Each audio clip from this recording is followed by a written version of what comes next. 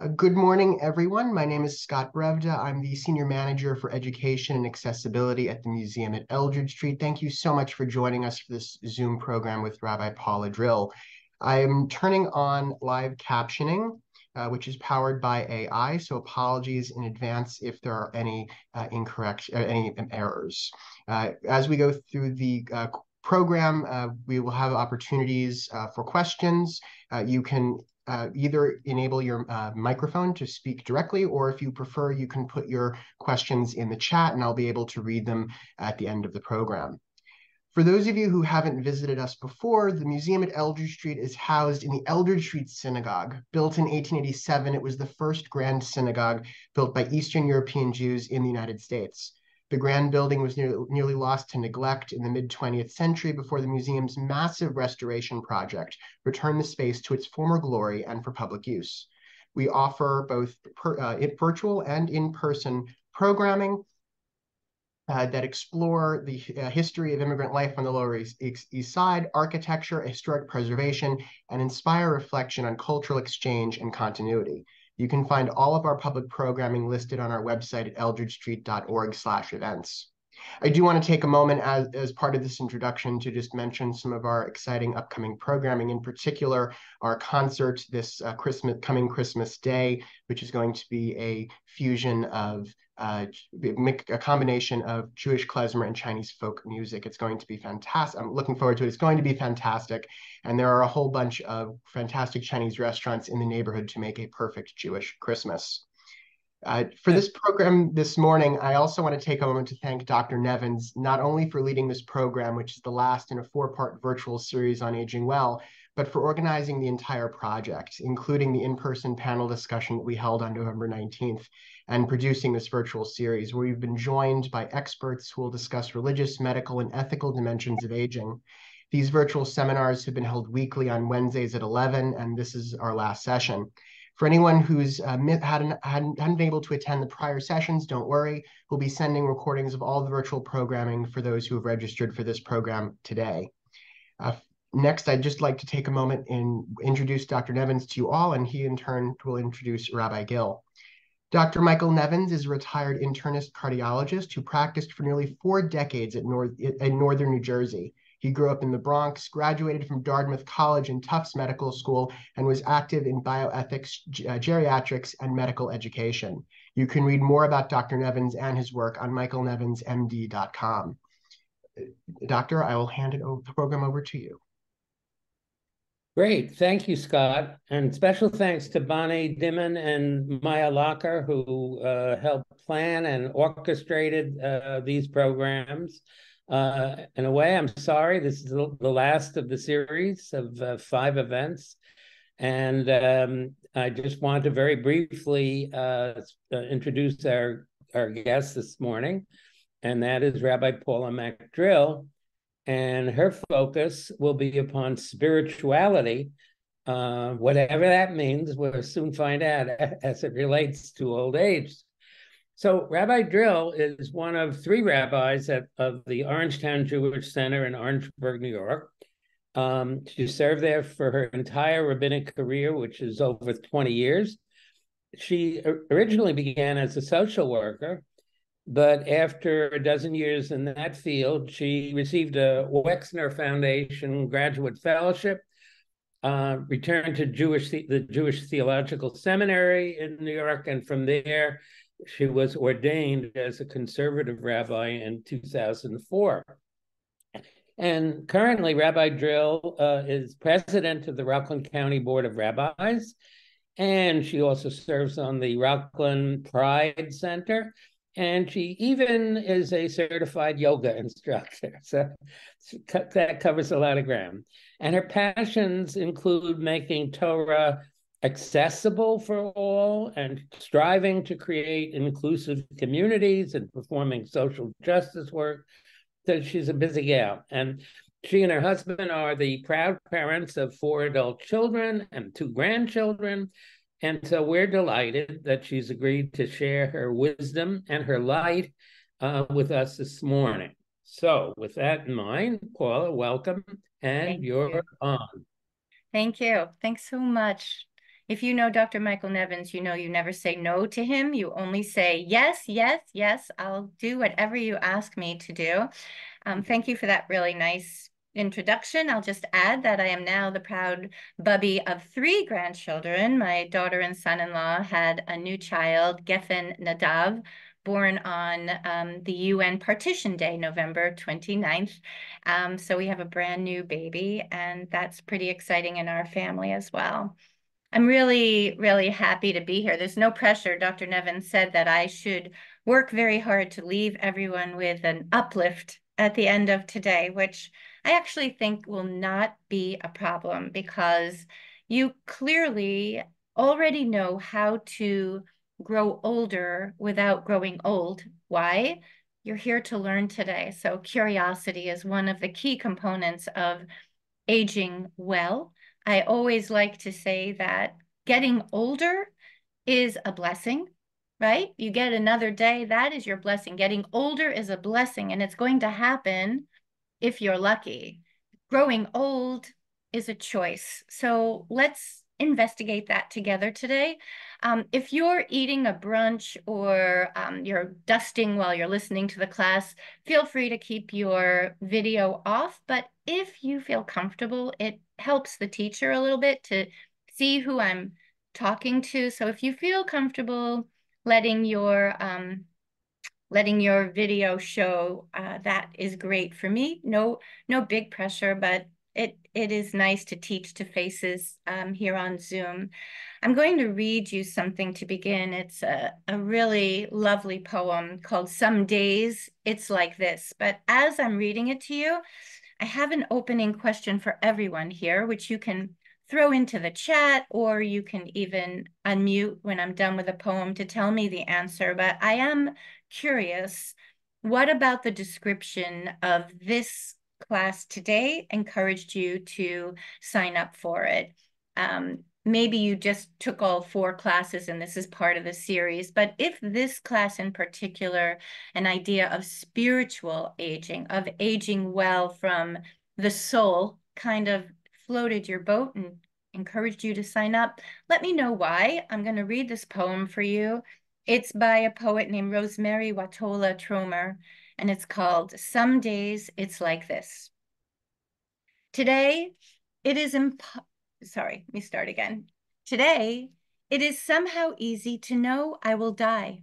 Meeting mortality feels as possible, as natural as inviting someone over for tea. Caffeine or no caffeine, I ask. Mortality shrugs as if it's all the same. I settle on the new tea I bought yesterday, Assam with rose petals. It's dark and floral and makes the mouth come alive. You're really not afraid of me today? Mortality asks.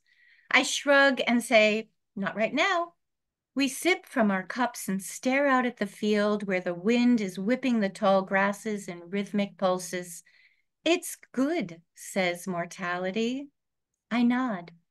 And we sit in content silence. There just isn't much to say. When our cups are empty, mortality doesn't leave. It occurs to me then my Im- invitation to tea wasn't necessary. Mortality was already here.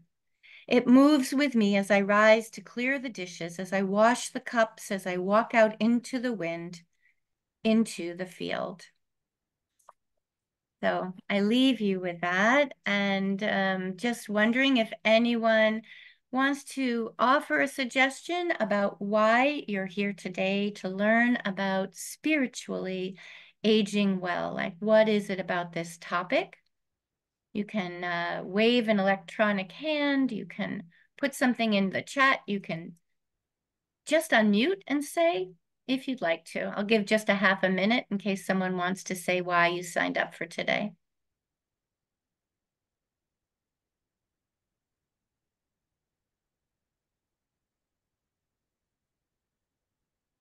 Okay, shy learners. That's all right.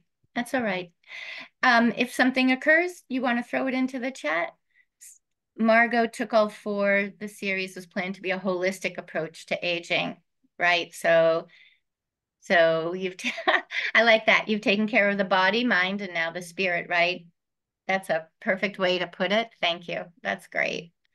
I wanted to start today. I couldn't resist because this week's Torah portion is just there for the taking in terms of spiritual aging, because this is the Torah portion, Vayigash. We're right in the middle of the Joseph Chronicles. If any of you are Torah readers, you know that these weeks of Joseph's story are very full columns in the Torah. There's no break. You have to be work ahead of time to find out where you're going to begin reading the next week because just one column runs into another, letting us all know that this story has one beginning and one end, though it really is spread out over four Shabbatot, four weeks.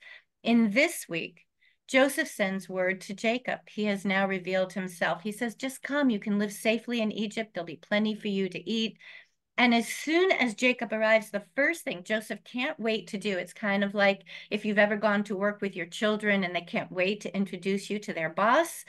Joseph takes dad immediately to Pharaoh to introduce. And Pharaoh looks at Jacob, and the first thing out of his mouth is, How old are you? What a strange, what a strange question to ask someone upon first meeting them. Pharaoh says, How old are you? And the commentary says, well, Pharaoh looked into Jacob's face. He saw weariness and disappointment, regret and grief that made him look well beyond his years. And we can think back on Jacob's life and understand why his face had aged. I like to think his eyes had been deadened somewhat by living for so many years, assuming that his beloved child was no longer alive. And the shock of realizing that he's alive having lost all those years in the middle, it made him look just very elderly, well beyond his years. The rabbis say he should have lived to 180, but he only lived to 147. So today, we're not hoping for 180. I don't think anyone here wants to live that long. I don't. We're not even hoping for 147, though it could be that my grandchildren, by the time they age, Dr. Nevins can correct me, but I think we're going to have enough bionic um, things that maybe people will live that long. But we, I hope, would like our faces to show contentment, to show our wisdom, to show even happiness or acceptance of our lives. I wonder if our faces, as mirrored in our eyes, could show that we believe the best is yet to be, which to me is a measure of wise aging. And you may say, lady, you don't know about my arthritic fingers. You don't know about the loss I've experienced. You don't know that I used to run marathons and now it's hard for me to walk around the park. All that is true. And still, I'm going to offer to you today that the best, I believe, can be yet to come. So before I continue and share my first text with you, if you have a pen and a scrap of paper around, anything to write with, I encourage you to write down the following. It's three things. My three greatest hopes for the way I continue my life are three things. Your three greatest hopes for the way you'll be continuing your life. What are they? And anyone who's very courageous can throw them into the chat and let us all uh, learn from you your three greatest hopes. Maybe they're reasonable, maybe they're not even reasonable, but go ahead and try to list them out.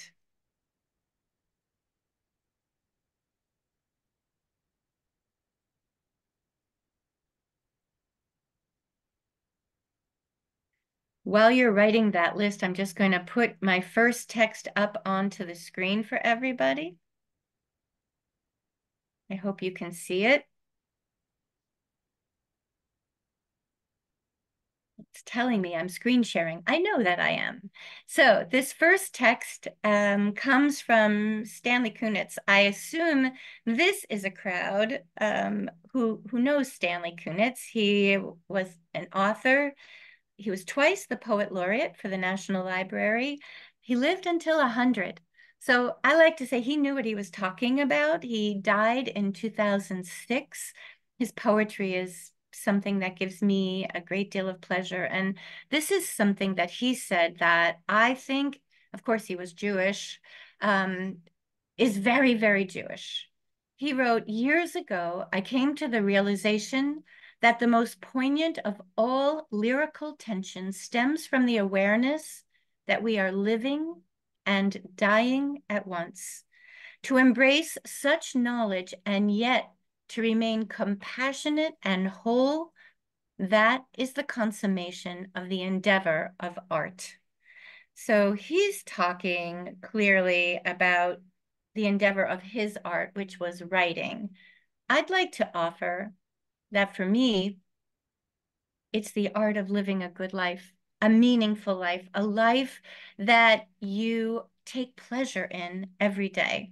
And perhaps if you made a list of three greatest hopes, um, Margot offered purpose, love, and contribution. Wow, she took a page right out of my book. I think that would be exactly where I would sit. Thank you for offering that. Um, his his idea of endeavor of art, I think, applies to all of life. That holding the tension between knowing that we're dying and insisting on living is the key to living wisely, aging wisely, bringing to fruition all the goodness that has been in our life. And it's very Jewish. You know, the rabbis say, live every day as if it's your last. That's not to be depressing. That's to be engaged in this life, to continue, to insist on seeing every day as a gift. It's easy enough to wake up in the morning and feel your pains and feel your aches and your disappointments, to turn on the radio station to all that is difficult and go about your day after a cup of coffee. It is also very possible to wake up every morning and change that radio dial and tune into Moda'ani lefanecha melech chai right? How grateful I am, God, that you've given me another day to stand before you with purpose, with love, and the ability to contribute as Margot has offered. So today, what I hope we're going to do is take last week's class which was about end of life. And Dr. Nevin said, quite a depressing conversation. Take that same conversation and say, I can turn this into a positive. I can say, by knowing that my life has an end line, I am going to instead make every day worth something. Of course, this assumes mental, physical, and spiritual health. And I want to acknowledge from the very beginning that people on this screen may themselves be dealing with very difficult medical conditions, may have people in their immediate life going through emotional difficulties, dementia, all the things that make what I'm saying really difficult. And yet, I think I'm going to conclude today with all of you, hopefully standing with me, saying, it's a choice. We can spiritually age with purpose, love, and contribution to the world at large.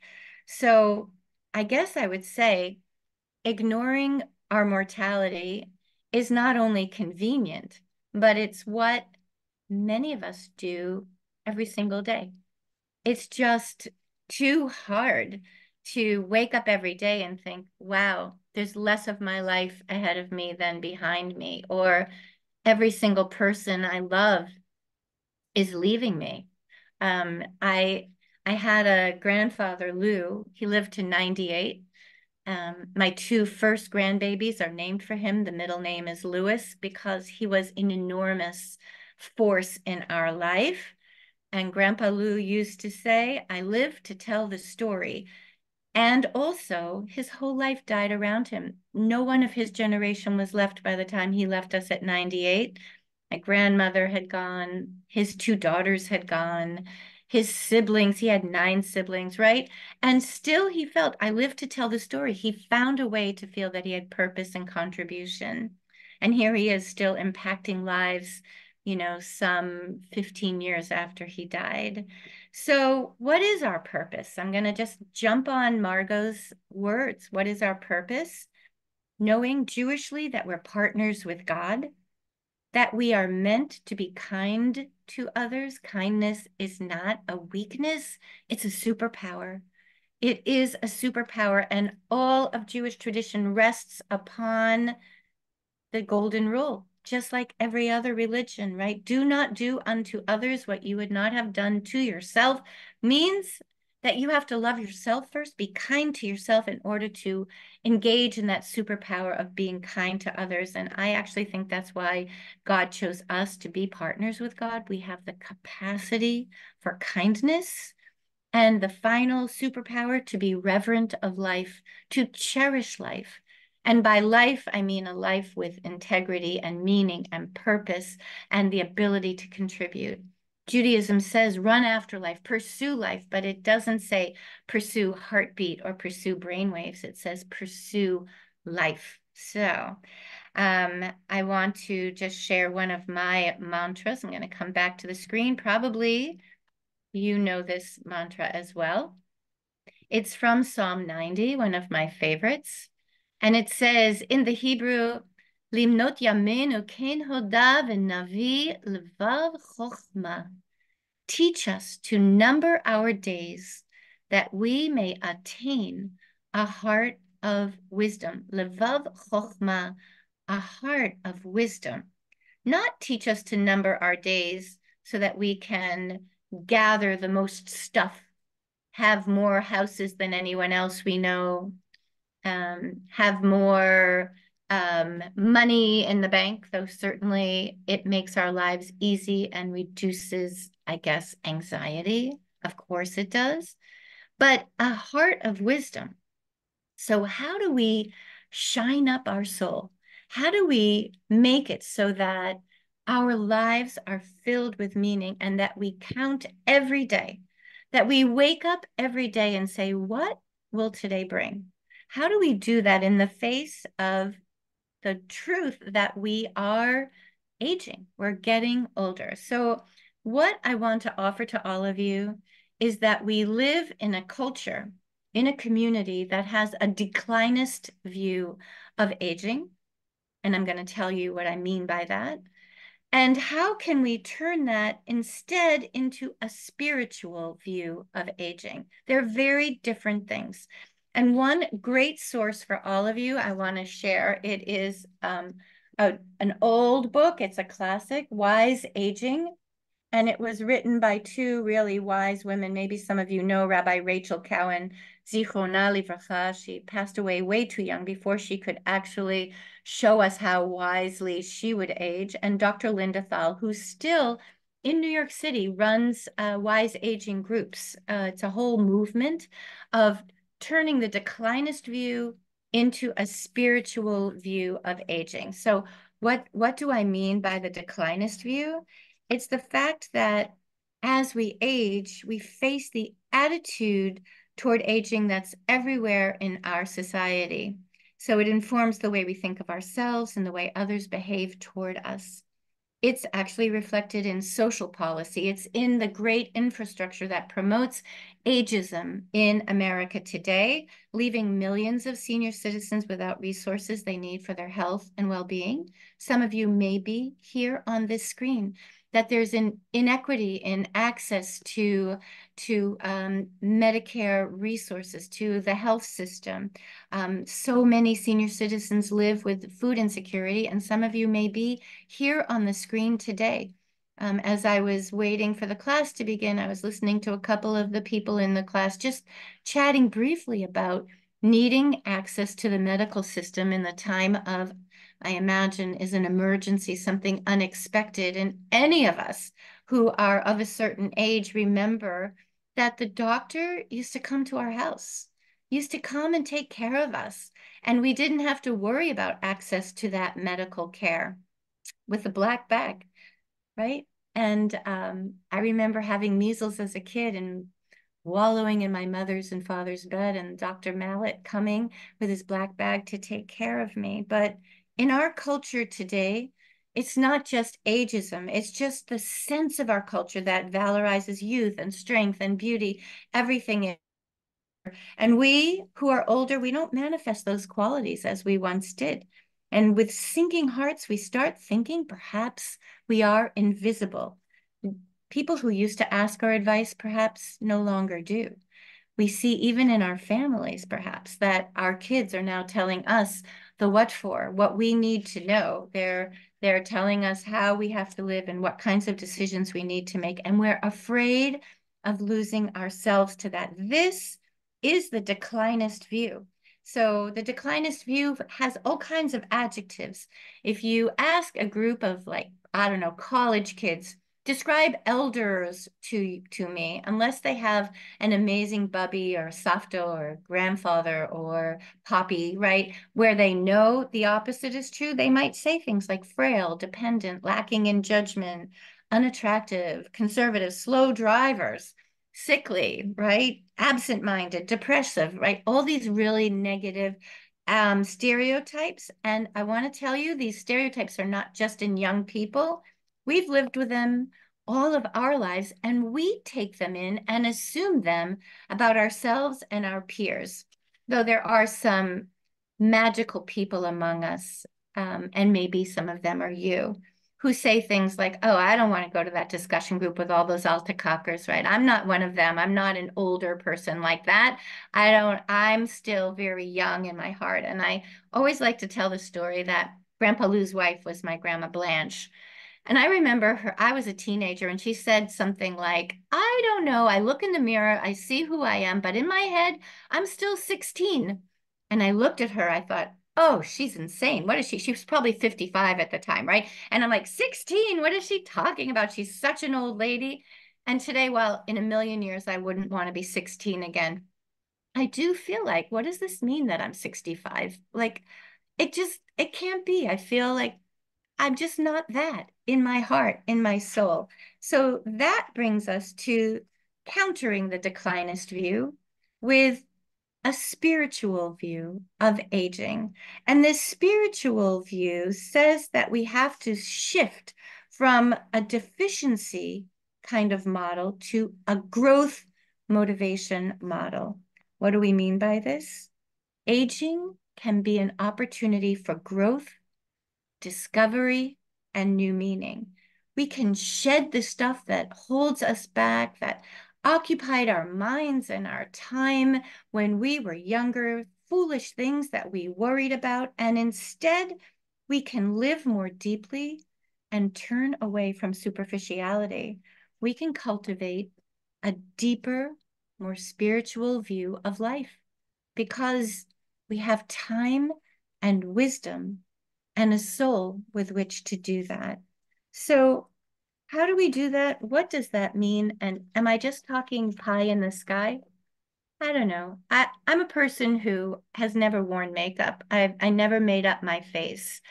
But even even without that, I used to walk out every day. I'm a very public person. I'm a rabbi in a community. Before that, as a social worker, I worked in a day school and I worked in a geriatric center in West Orange, New Jersey. By the way, that was the secret of staying young in my 20s and 30s because everyone thought I was a Shana Maidala. And when you're a beautiful young woman in the eyes of older people, it keeps you feeling very young. But through all that time, I'm a public person. And now I'm still a public person. But guess what? I don't want to come out into the world looking ugly. I just don't care anymore. I'm not looking for whether people are looking at my face. I want to connect to people through my eyes with my soul. That is the spiritual aging process. And I want to tell you how I know this to be true. Like many of you, perhaps, I have been present at the moment of death I've actually been present at the moment of death many times, first in my work in the geriatric center, now as a rabbi with family members. And if you've ever been present in that moment, perhaps you have been blessed enough to see the way this person whose body is diminishing becomes shining their soul starts glowing. I've seen this many times, and I know it to be true because I've seen the moment that the soul leaves the body, leaving behind the exhausted body. And I then look and see that the person is no longer there before me. For me, it is an absolute belief in the soul. And I see that as people are beginning to leave us, their soul becomes shinier and shinier. And so I say, why wait until we're on our deathbed for that to happen? Why wait until the time turns and we find ourselves no longer living?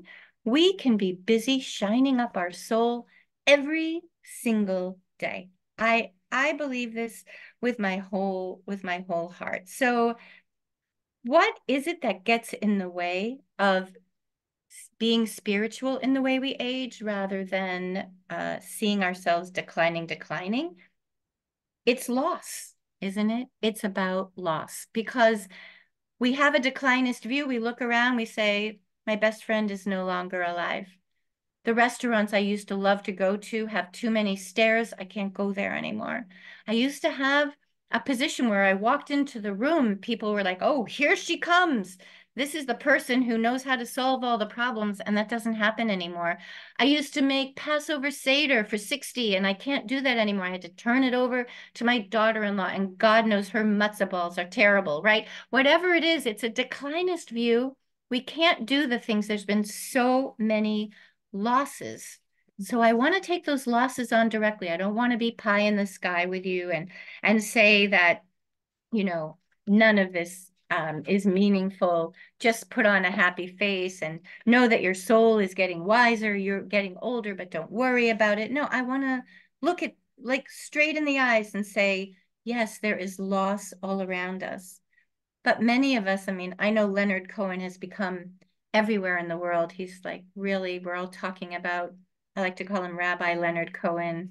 But in his beautiful poem song, The Anthem, he says there's a crack, a crack in everything. That's how the light gets in.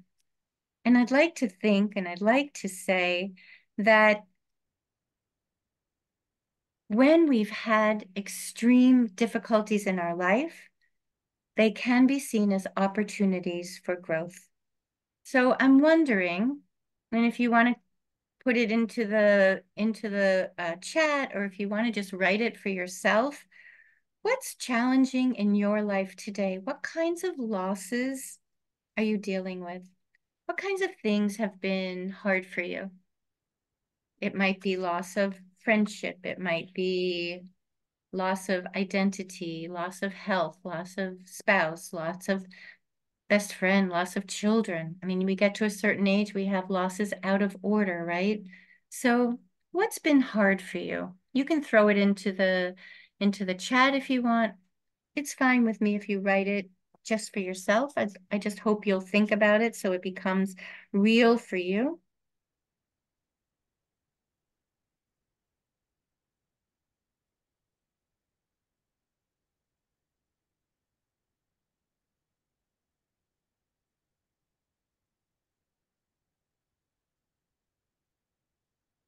So whatever your losses are, I'd like to offer three different ways that we approach losses, three, three different choices actually that we can make.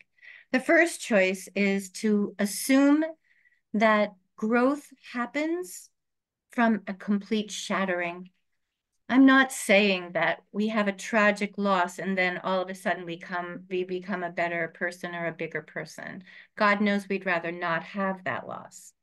But when the loss is experienced, do we grow from it? Can we become what Dr. Anne Brenner calls a wounded healer?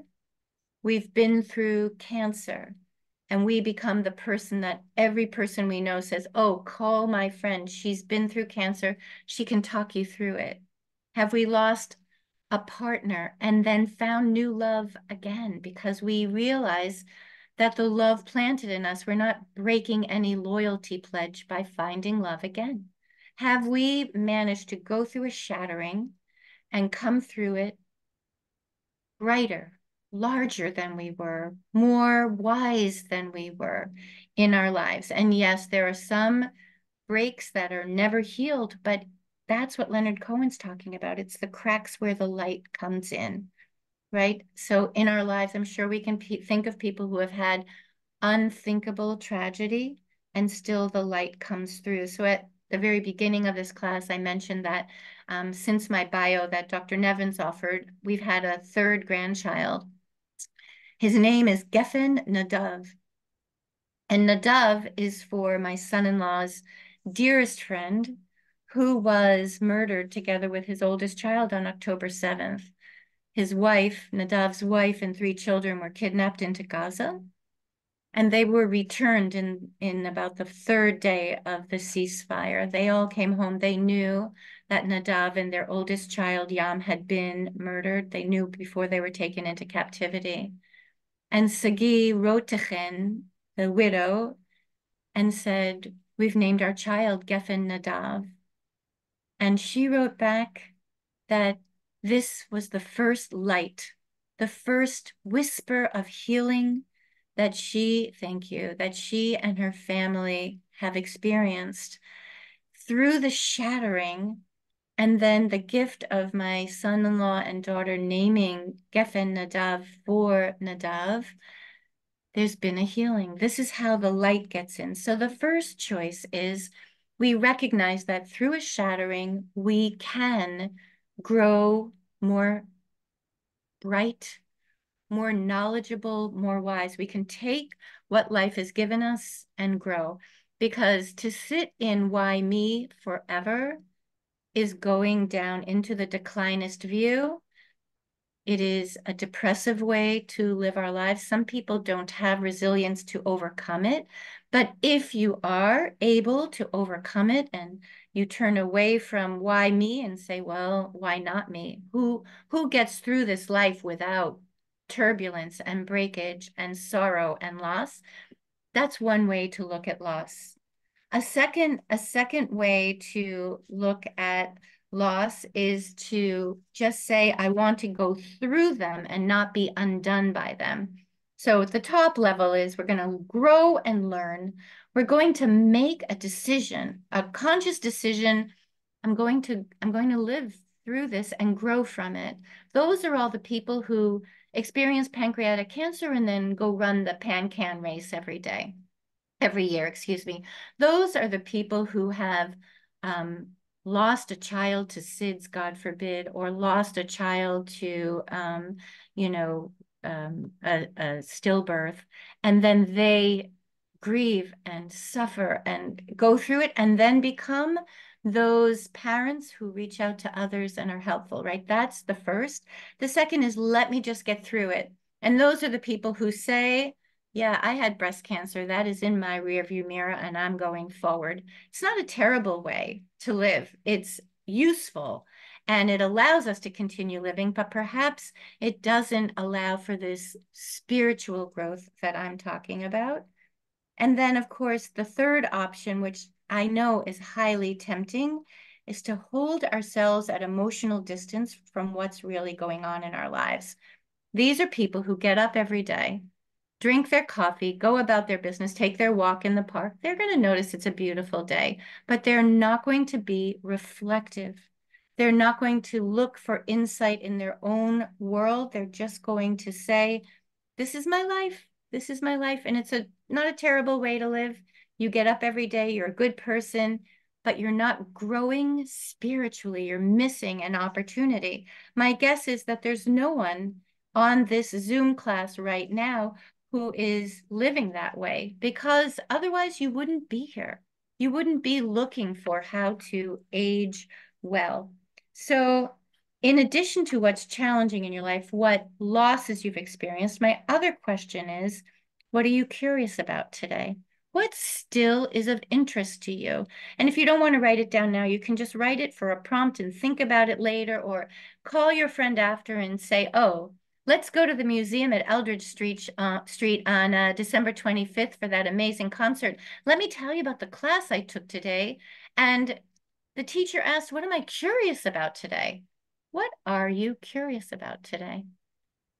How do you fuse klezmer with Chinese music? I'm curious about that. How will our next generation use AI to solve the problems of climate change? I'm curious about that. How is it possible for me, who's never been a spiritual person, never identified myself like that, to start thinking about the spiritual view of aging instead of the declinist view? So these ideas of loss may feel sort of high in the sky to you. I can grow from it. I can go through it. I can avoid it. I can just sort of become, you know, with a nice armor around me. But when we think about Leonard Cohen and we think about the cracks are where the light comes in, I invite you to think about any time in your life when you have felt connected to something greater than you. For me, I call it God. Not everyone calls it God. That's fine. Maybe it's been when you've been um, hiking upstate New York. Maybe you've gone to the Berkshires and stood on a hilltop and looked down at a lake and just felt like, whoa, I am not the end all and be all. There's something bigger than me. Maybe it's sitting in a synagogue. Maybe it's visiting the museum at Eldridge Street. What I've been there. Eldridge Street is amazing to understand what it meant to those new immigrants to be in this place that was larger than life and remembered life is not all just your tiny little tenement. Maybe you have felt close to something greater than you when you have come through loss and asked for help out into the universe and felt somehow you are not alone. I'll share with you that what kicked my tushy into rabbinical school at age 39 after having a great career as a social worker and four kids what was i thinking of? I live in new jersey to start commuting for six years back into jts what was i thinking? It was the time when i lost my mom and i was all alone. I moved back to maine with my youngest baby who was five months old when she died and I just moved in with her to take care of her. I was so alone. It was the hardest period of time in my life. I was close to my mom. My dad had already died. And this was my last parent. I became an orphan way too young. And also, I felt so close to God. With loss, the light comes through those cracks, and it can be a time of enormous growth.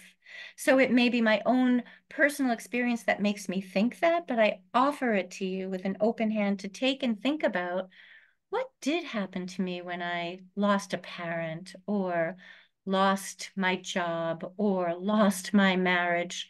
Was there growth? If I look back on my life, do I see that those losses led me to something bigger and newer?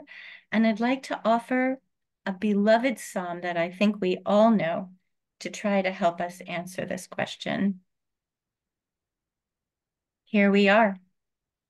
Who doesn't know and love Psalm 23? We're not going to study the whole thing. I just want to look together at the places where I've bolded.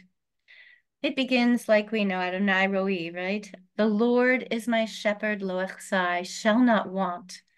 God gives me rest in green pastures and leads me beside still water.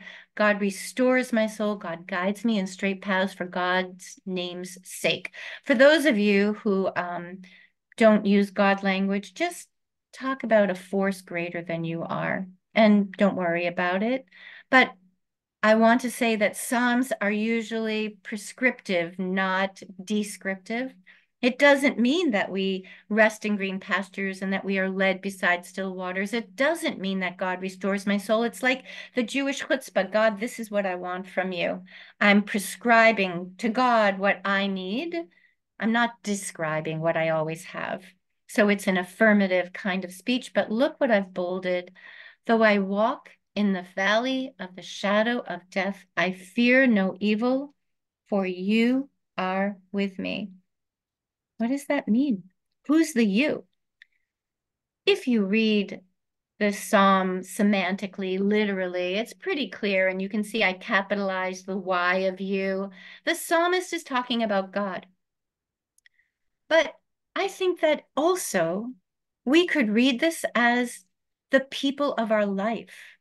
I walk in the shadow of death. I fear no evil for you, my peeps, my people who I love, my friends, my partner, my children, my great grandchildren, whoever it is, my nieces, my cousins, the people who have been in my world, you're with me. The people who have been with me and have gone before me, my parents, my grandparents. Some of us have a Nana, Grandma, Bubby, Zadie, who is always planted in us, not just in our DNA, but in the way we think and the way we see the world. You are with me. That's why I can walk through the valley of the shadow of death, which, let's face it, is the whole world. And I don't fear. Nothing's going to happen to me that is untoward or unprepared because you are with me. This is a great way to think about aging spiritually. I recognize that I'm mortal and I am not afraid of that. Maybe, remember I asked the question about curious? Maybe I am even curious about what comes next. Not that I seek death, God forbid. Not that I welcome death. I want one more day and one more day and one more day, even when the days are hard. But perhaps I can say, I am not afraid I'm going to make today count. I'm going to make tomorrow count every day that I'm given. And I may, in my elder years, be in a wheelchair, lose my vision. I may lose a lot of my memory. I can still grow spiritually. That's the gift of a spiritual view of aging. How many of us have visited people who are older and marveled at their acceptance and their wisdom. What is it that they have?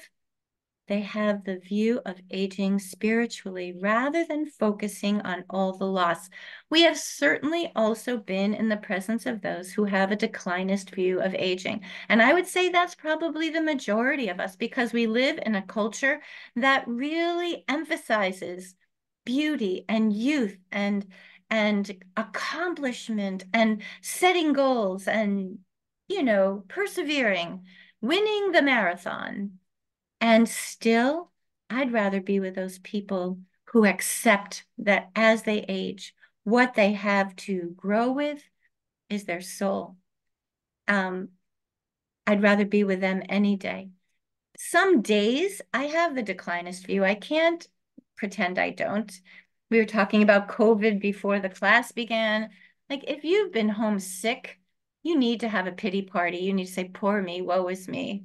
This is a really hard day. I'm just feeling lousy and I don't want to eat anything. I don't want to see anyone. I want to be by myself. And my body's breaking apart. And I wish I were, you know, 16 again. But most days, we can choose to have the capacity to say what will happen today that will enliven my mind, my heart, my soul? What, what new thing will happen for me today? So I wanted to just share from this book, this beautiful book um, by Thal and by Cowan, um, this idea of the challenges that happen when we grow older. As we anticipate the losses and pain of old age, our imagination is fertile. We picture the loss of body strength and capacity, the deterioration of health, as well as the dislocation from our place of residence. So I forgot to mention that one. The prospect of the loss of status and satisfactions of the roles we've enjoyed disheartens us, and we dread those terrible diminishments of mental capacity. You can make your own list. And finally, we fear the death of friends and relatives, and most darkly, our own mortality. But, I like to say, and, she wrote, but we also know that we can cultivate the spiritual practices that will help us live well through the hard places. We can nurture and strengthen important relationships. We can call on our character traits, which Judaism calls midot, right? Our attributes to hold us steadier.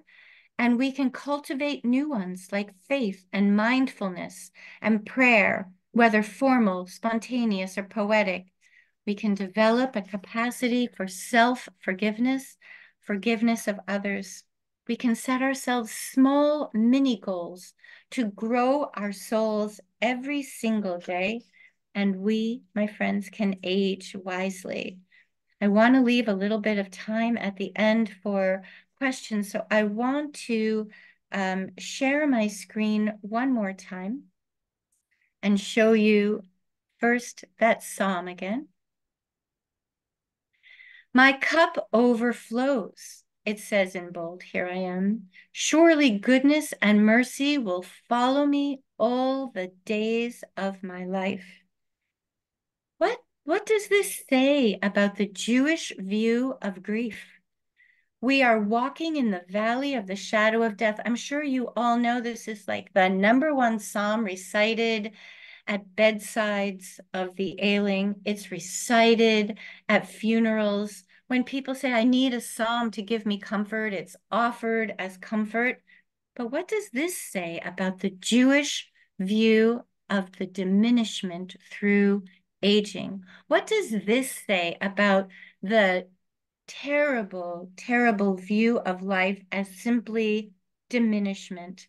It says, My cup overflows. The best is yet to be. So I used to run. I'm never running a marathon. I never did.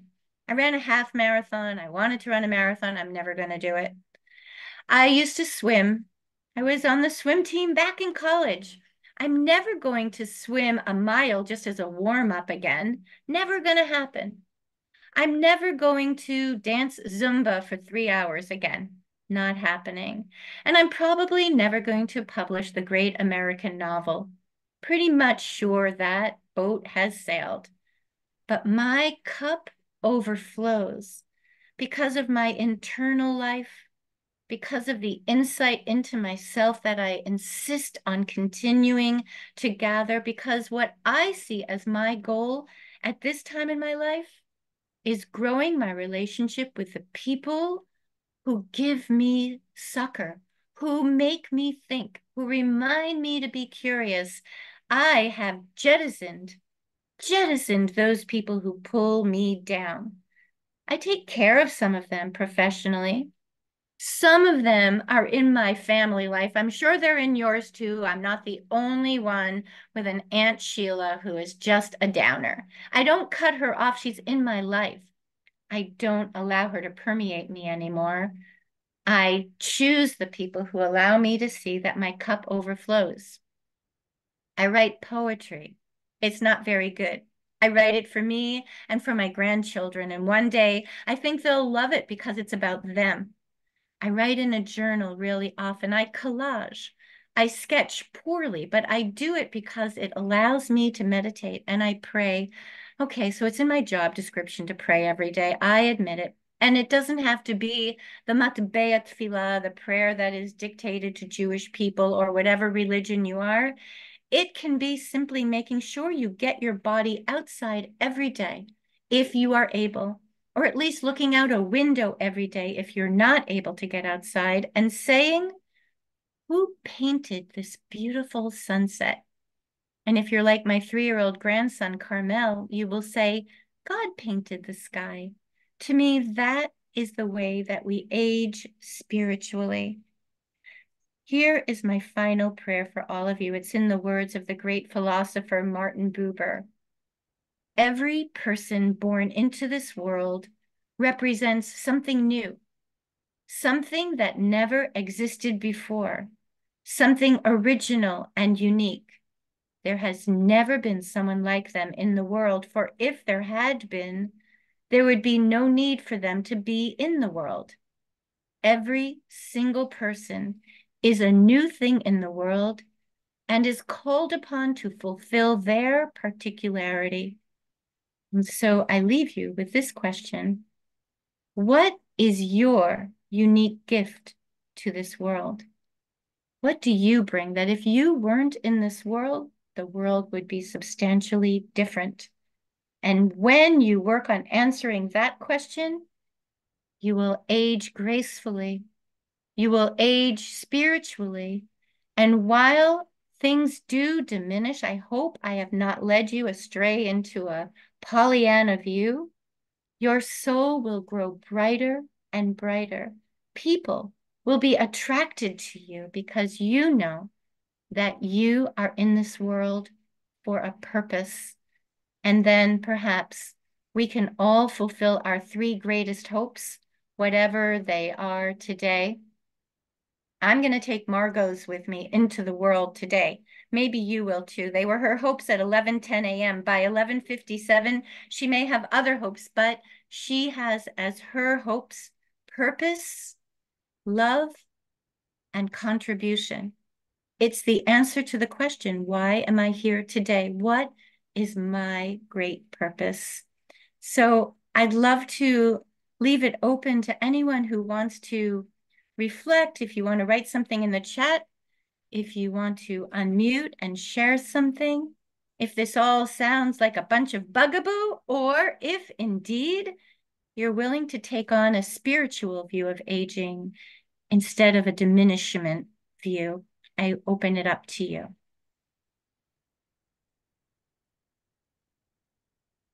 Michael. You call it spiritual. I call it attitude. I want to give you three examples of people in my life with positive attitude.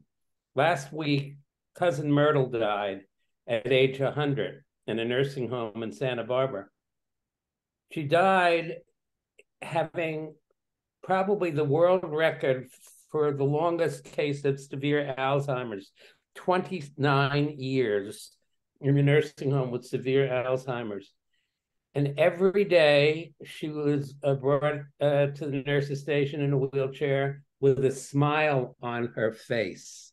And she was smiling when she died last week. There's a man in Rockland County.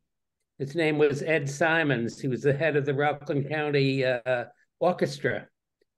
Compo- led the orchestra at age 100 his daughter, when he died, I think at 102 a few years ago, the title of her memoir of her father was He Woke Every Morning with a Smile. My partner, my lady friend for over 16 years, last week had a, a stroke. Um, yesterday, I took her to her cardiologist and neurologist in, in Manhattan and as a physician, I was so concerned with her rehab, how to prevent a, another one from coming. But Linda is the most positive person I've ever met. She always has a smile. She inspires people because she's got such a positive attitude. She's not a, a what I would call certainly not a religious person, but you know, as we were walking from the cardiologist to the neurologist, her attitude, whereas I was gloomy, she was saying, Oh, I dodged a bullet. I'm going to take a month off and I'm going to be fine and I'm going to return to my very busy life. Well, she's only 82. She hasn't gotten to 100 yet, but God bless her, maybe she will. But, you know, so whether it's spiritual or attitude, it's something intrinsic. And I think that, as you say, that is everybody has their own way of accomplishing that. But uh, not to be a downer, but to be an upper is is the, the true secret. Right. Getting older is a blessing, and it happens. Getting old is a choice. Even I, you're describing your cousin Myrtle even with the diminishment of our emotions and our memory, those things that we think make us us, um, there's still the soul. And it was her soul shining out to that nurse's station every single day. I just put into the chat um, one of my blog posts from last May um, called Hanging with Nonagenarians. I just love old people. I'm I'm now the old people too. I I started a group at my synagogue when I first came there called Chazak. It was for people 65 and older. And I was like Julie, the cruise director. And now I am the Chazak, right? I am that age, thank God. But I've always looked to people older than me. And if you, um, it's just like what Michael just shared. It's a four different people who offer a beautiful, uplifting outlook. And then you can say to yourself, I want to be like them. How can I do that? How can I do that? Thank you, Michael, for those beautiful biographies of your people in your life. Thank you.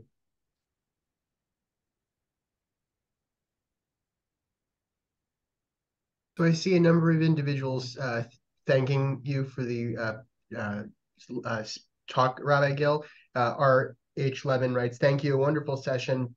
I've been caring today for an ailing patient, and so multitasking has kept me from fully participating. Looking forward to reviewing the recording. Uh, Marshall Honor says, wonderful, inspirational talk. Thank you so much. Uh, and uh, Margot Cates writes, this has been a wonderful, inspiring, yet very grounded presentation. I thank you. I will thank everyone for coming. Thank you for the wonderful presentation again. Dr. Nevins, thank you so much for the fantastic uh, series and presentation for the entire series. Uh, we hope everyone has enjoyed. We look forward to seeing you again, whether you can come for the Christmas Day concert or not with us here at the museum at Eldridge Street. Thanks, everybody. Bye. Bye-bye. Thanks, Paul. Thank you.